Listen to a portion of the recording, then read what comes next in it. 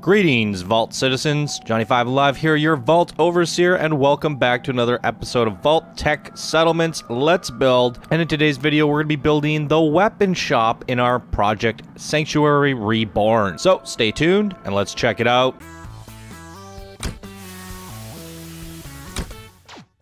All right, guys. So, starting things off, we are at four times speed. We're going to be testing this out. Now, the weird thing about making these videos is I'm so far ahead of you guys because, I mean, at the time of this recording, only episode one is out. So, the only feedback that I really have to go off of is episode one. I've already made two and three, as well as the spotlights. And uh, I haven't seen the feedback on those ones yet. But I decided to kind of take the initiative to try four times speed for you guys here um, since since I'm able to. Um, now, the, the only issue that I have with the four times speed is that this is two hours of recording for a half an hour of footage.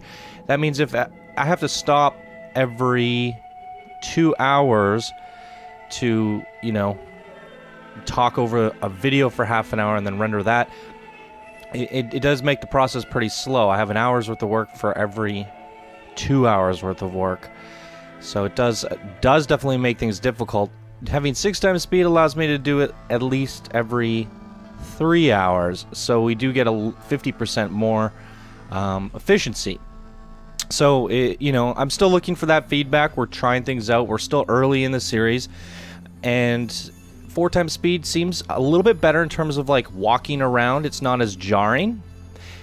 But then when I'm going through the menus and, and fiddling with things, it's going to be a little bit more boring at times. But I have plenty to talk about and things to say and, and to do and to fill that time up. So I'm not too worried. I always can find something to talk about to fill the time. So we'll make the most of it and we'll try and make it as entertaining and full of information as possible. So let's talk about what I'm doing here and why. We're now at the Red House, which is kind of across the street or down the street from our Minutemen headquarters as well as our rights in.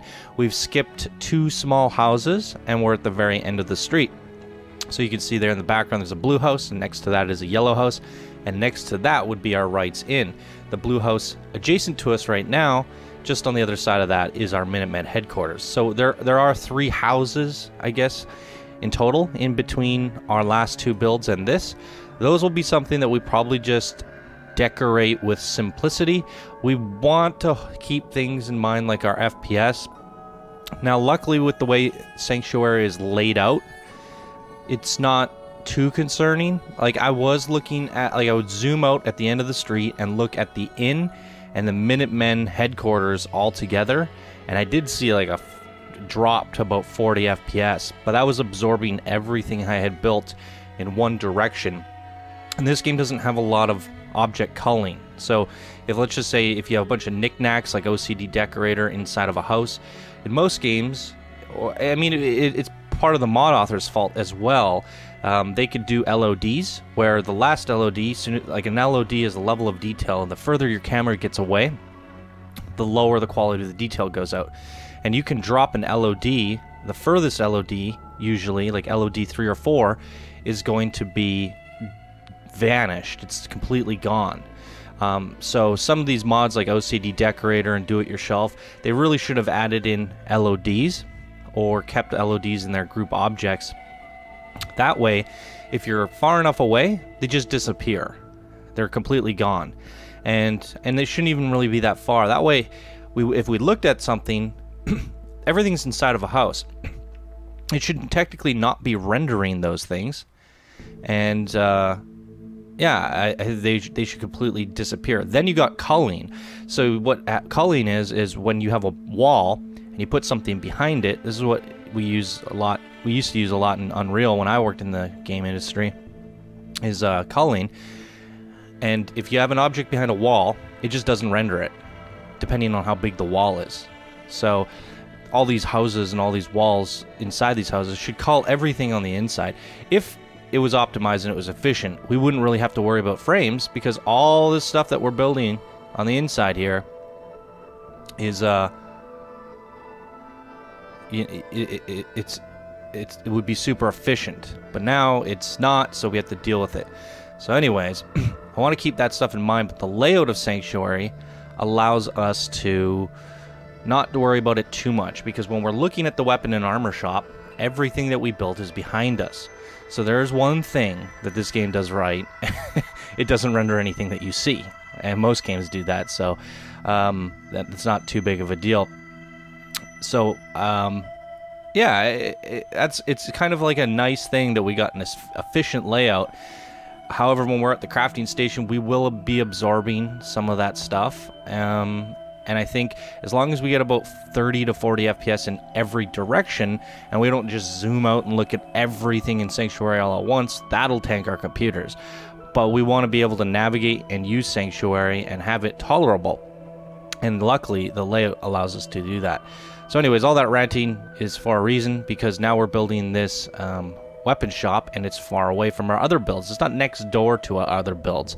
And that is important. So keep these things in mind when you're doing mega builds and keep in your mind your layout, your part count, and all that. I think each one of these builds could have been fun. Like, they could have been nice little settlements in and of themselves. However, it doesn't make sense to have these sanctuary homes in other areas of the wasteland, and Project Sanctuary is something very special and unique, near and dear to my heart, and I've always wanted to do this, so I want to push it as far as I can, and hopefully we get it all built without um, blowing up my computer. So you, you, we've been building a lot of stuff in the background. We're about seven minutes in, and there's there's a lot of red going on. And there's a lot of funky objects. I put a water tank on the roof. I put a windmill. Like, what am I doing? Why? Um, now, I have this debate in my head, like, what's what's immersion breaking versus cool? I talked about some of this stuff in previous episodes. You always want to think about your composition, directional forces, and the silhouette of your build. Silhouettes are very important, and you want to take advantage of that. Now, I said that this build here, we want to sell the the fantasy that this is a big weapon shop. And in order to do that, we want big bulky objects and we want to load it up with unique characteristics that says this is a weapon shop. So here in the back, you know, I didn't really know what I was doing going into this, but um, you know, I didn't want to just build like I didn't want to just decorate the interior of the house. I want to build characteristics. So you see me putting down these big generators, big water tanks, windmills. I want this to look and feel like Borderlands, something crazy that you would see. Now, does it break the immersion? Like, how the heck did these Wastelanders get this generator down here? Now, I guess we're gonna have to. We're just gonna have to pretend that, you know, Sturges knows how to repair cars. I don't really know how it would work, but I'm sure they could get their hands on gasoline somehow or an electric car. I don't know, a fusion cell powered car eh, or truck and and tow things and drag things, or maybe they wheeled it over um, the old-fashioned way, put some craned it onto something. I mean, there are mechanical things in the wasteland that are functioning and powered. So maybe they hoisted it onto something and wheeled it back. Who knows? But um, that's the one thing that I was like, is it too immersion breaking? That was my only concern. And for the purpose of this build, we're just gonna have to say F it. you can think what you want. You can, you know, pretend. You can use your imagination. But we want to make a really cool build that has lots of personality and sells the fantasy of like a Borderlands junky, crazy weapon shop. So I talked about color pops and how Bethesda uses this a lot in this game, and that's why you see a lot of objects in this game that have big painted colors a red water tank, a yellow power generator, yellow windmill. All these different things are assets from the game placed in certain areas with touches of paint to create color pops that really catch your eye. And they're surrounded by, you know, metal, junk, and and uh, n- more neutral colors like wood and gray and uh, or brown and gray. and yeah, so for for me, I wanna. I was I was thinking like, okay, the red is great, but we don't want too much red. We want little pops of yellow as well. Um, we, we want to sell that kind of um, yellow CAD or cat construction feel, as well as um, red for aggression and violence. That's your weapon shop. It's uh, aggro. It's your offense. So red is a really great uh, representation of that. Yellow is a little bit more construction or fun and playful, and we can we can really get some nice color pops using these red and yellow assets. But how do we use it? How do we integrate it? What are we doing with it? So I wanted to I didn't want to just decorate the inside of the house. So I need an extension so that we like go into the garage and that's the store. And here I got the idea of like, well, there's a little bit of space down there. What if the back end ends up being a warehouse? And because I was playing around with the doors, and sometimes you're looking through these pieces, and then you get a, a discovery. You realize, oh, what a, you know, you just want to tinker with things and try things out. So, you never know what you're going to get. You're just playing. And when I went into this, I was thinking, I, I never even had the idea of a warehouse. But you discover something, and through your discoveries, you get new ideas. And you don't know if those ideas are going to work until you try them. And uh, so after my two hours of building or so, by the end of this video, I'm still unsure. So I figured, you know, we'll just I'll just make the video, show you guys the shots, and and see what you think. Now the problem again with doing these videos ahead of you guys is by the time you guys start leaving your comments on what you think of this build, I probably would have already moved on to starting to add on to it. So if everybody's like, "Oh, that was a terrible idea," well, it might it might be a little too late. But um, you know, be, before I continue onward, I'm going to go into game and sit there for five ten minutes and assess what I've done. Think about it and you know, the only problem that I'm having with this is this big back door that I'm building here, this opened area. It um, it's not really accessible. So even if they, in let's say, say in the fantasy that they had a vehicle to take all this stuff back to build, like they brought these big metal doors back and they brought all this stuff back. They hauled it and hoisted it here. Well, how do they actually get back here? Behind the houses. I mean, there are spaces in between the houses that you can drive between. Um, but I end up filling that one between the green and red house. But there's another space behind the green house that you can get behind. So I was thinking maybe I could even take some of those driveways and build a concrete road. Or just like maybe even use some of those graves and draw like a dirt path or something. And and that way it's like and have a big truck back here. That way it's like you could it's selling the idea that they had a truck, they built all this stuff, they hoisted all these things back here. They have a pathway to drive back here and try to make sense of it. Um, we're we're going to try our best to tell a story and also try to make it somewhat believable, but we're definitely defying the immersion here a little bit. But the trade off is the fantasy comes to life. So for me, I think fantasy is more fun and more important than immersion, so long as the immersion is we're not we're not going so far to make all this stuff brand new or pre-war. So we're not breaking the lore, I guess, if that makes sense. We're just making it uh, seem like questionable how they put this together. But if you use your imagination, you say it's plausible. So that's where I'm okay with the immersion breaking. Um, I want I want things to be plausible, but at least be believable in the sense that everything is still a shambled, deconstructed pre-war create or post-war creation, and uh, yeah, and, and that, that that should be enough for me. But the fantasy is important here, and we want this thing to be a big, bulky weapon shop. And I'm still unsure what I'm doing with everything, but as you guys can see there, I found a case of mini nukes, I've found containers, I've found all these big, bulky weapon heads. I even have a rocket out front. So, um, we'll be able to fill this warehouse with some mega duty ammunition some uh, bombs and missiles, all sorts of things, weapons, you name it. This warehouse is going to get filled up with guns.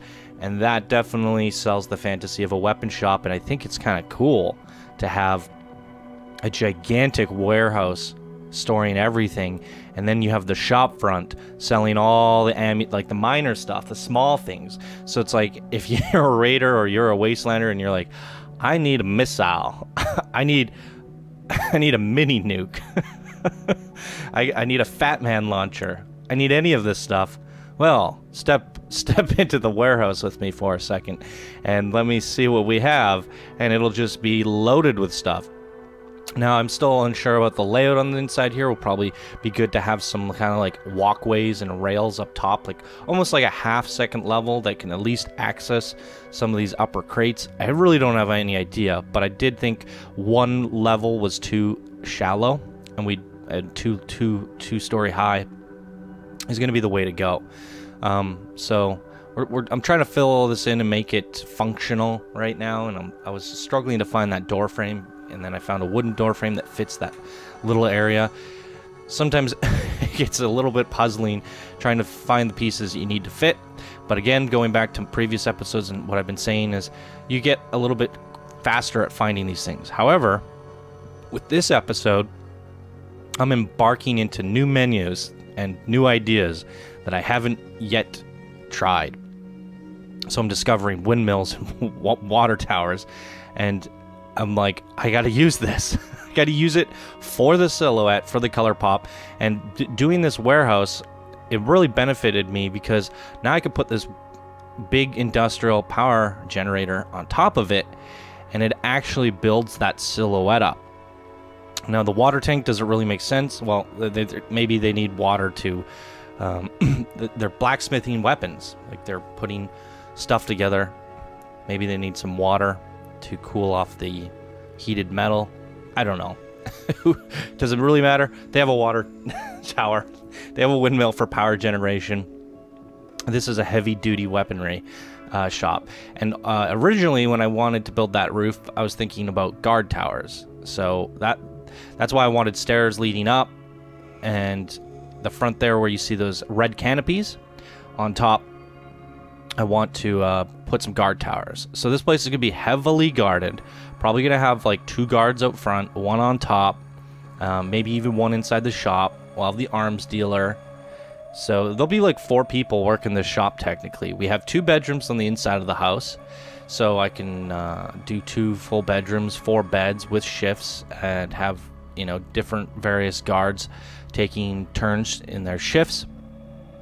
And it should be uh, kind of believable and yeah, heavily guarded, and I think that's pretty cool. It adds to that immersion, the fantasy, the storytelling, and I, with all my spotlights and all the characters that I do in in the the, the second pass, which is making the light place come to life, I dress them up. So we're gonna definitely have guards um, that have some pretty sweet armor. I have some things in mind.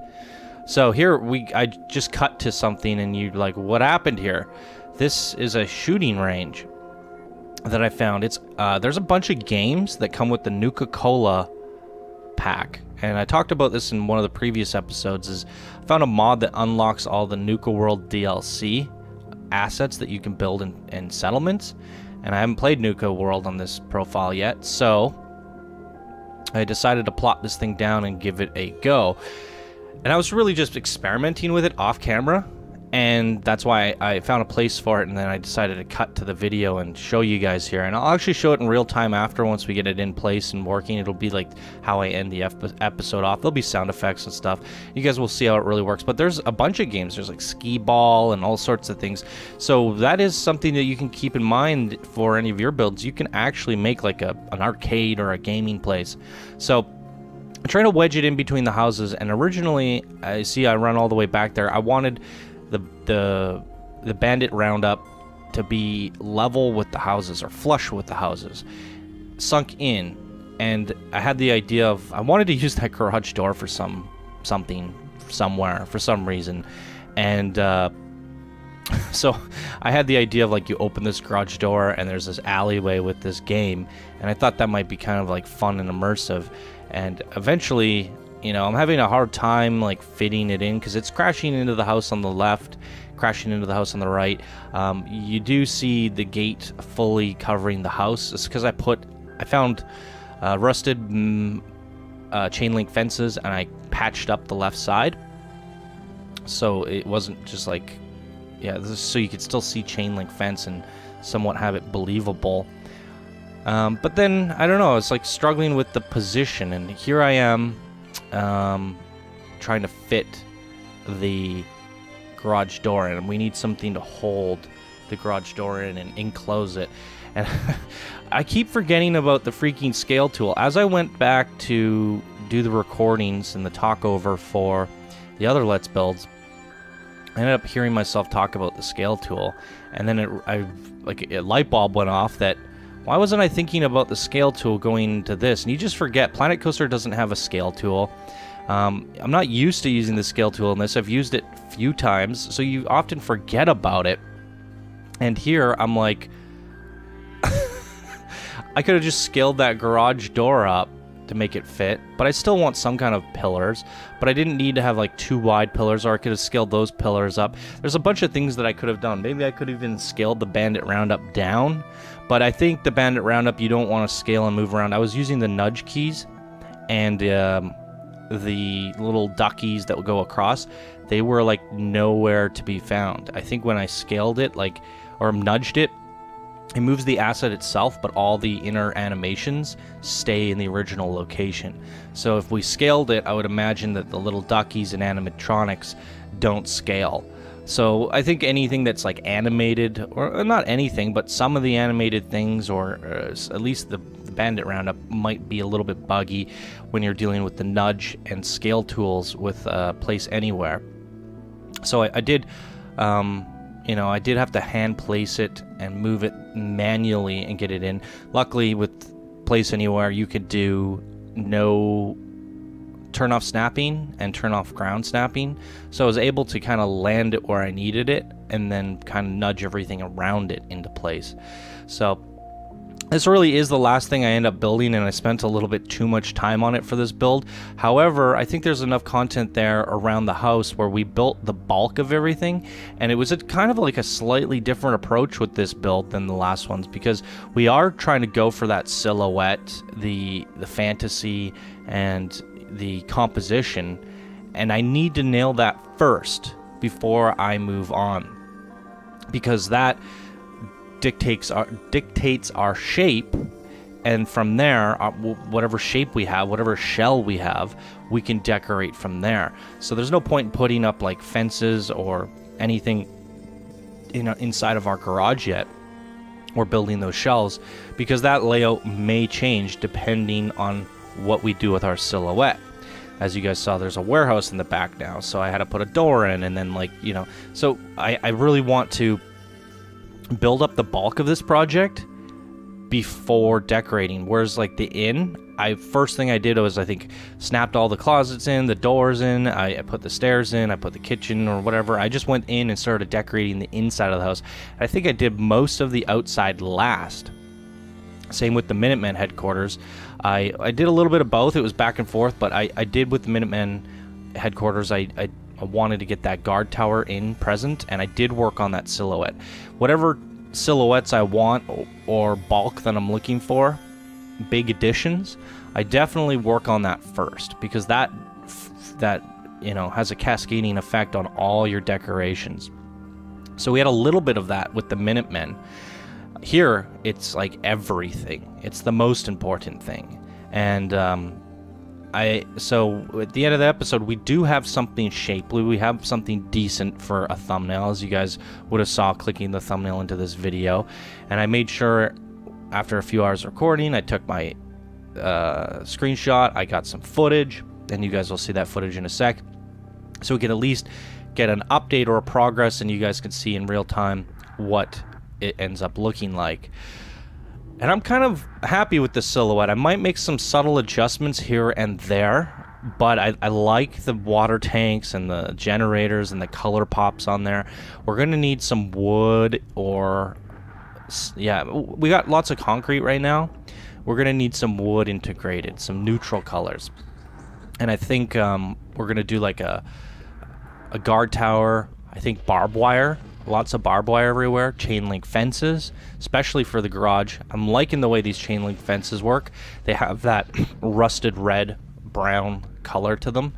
Um, it's a neutral version of our red, and uh, I think that's going to be really good for the garage area.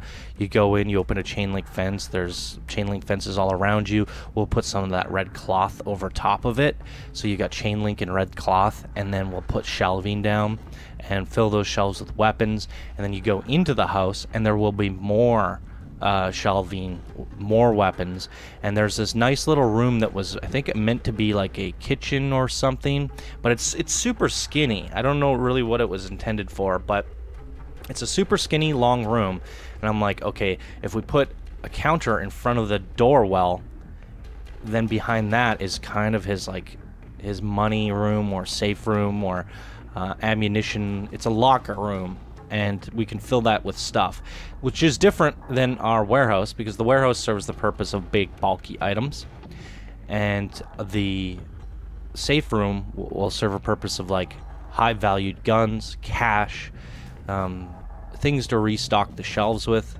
It's it's just also kind of yeah, it it'll be pretty cool I think.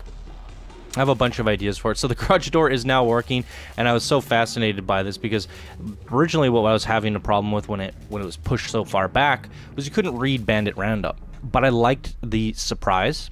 I liked going, oh, you open this door up, and then you see Bandit Roundup. You're like, I wanted it to be a mysterious door. So here's a look at the real-time cinematic shots of our silhouette. We got this big, giant, weird, junky gate on the left. I quite like that leading to the vault. It really ties into the composition, so it's a part of it. I just plopped it down and there we go. And we're really getting an idea of the personality, the characteristics, and the fantasy of this build with big, bulky items. We built a little bit of a warehouse and we got the shell started. Now there's a bunch of clutter laying around outside. All those red canopies you see are probably going to get moved. Uh, some of them are going to get deleted. I'm going to find places for them. But uh, they're just there temporarily, essentially. And uh, yeah, here's all the different signs that I put down before I recorded as part of my prepping for the episode. All that stuff could be used here. It's like graffiti signs, weapon signs. So we're gonna add that stuff, and it's gonna it's gonna add to the silhouette, the color pops, and all sorts of things. So here we go. We're real time again, and I'm playing the Bandit Roundup, and uh, just having a little bit of fun with it. It's now working. As I was saying earlier, though, the Bandit Roundup was being hidden by the garage, and I like the element of surprise. But now Hopefully you can't hear the sound coming through my headphones. Anyways, now the Bandit Roundup is loud and proud up above, and basically you can read it from a distance and then you go open the garage. I kind of like that. You can close it down for the day and open it up for the day. So I'm using an Xbox controller to shoot these, so I'm doing my best here, guys. It's uh, I have terrible aim with the Xbox controller. It gets a little bit tricky. Um, there it is, though, guys. There's my... The, the starting to the weapon shop. Let me know your thoughts down in the comments below. What did you guys think of the speed adjustment? The length of the episode? I think there's some drastic changes in between the uh, episodes. I mean, the second one for Rights In was like an hour long at six times speed. So I'm definitely going to try and chunk it out a little bit. But I think we're able to do that a little bit better here because we're building big, big silhouettes. So we have a lot more to show for our efforts here. So I quite, I quite like what uh, using these pieces and these kits. Whereas if we would have done like two or three episodes for the other ones, we wouldn't have had a lot to show off, and would have been kind of like uh, anticlimactic. But here we go. There it is, everybody that's going to do it for this episode. Thank you guys so much for watching. If you enjoyed, please be sure to smash that like button. If you're new to the channel, subscribe for more daily videos. And if you would like to support the show, you could do so by becoming a patron. Alright guys, thank you so much for watching, and I hope you all have a fantastic day, and we'll see you in the next Let's Build. Bye now.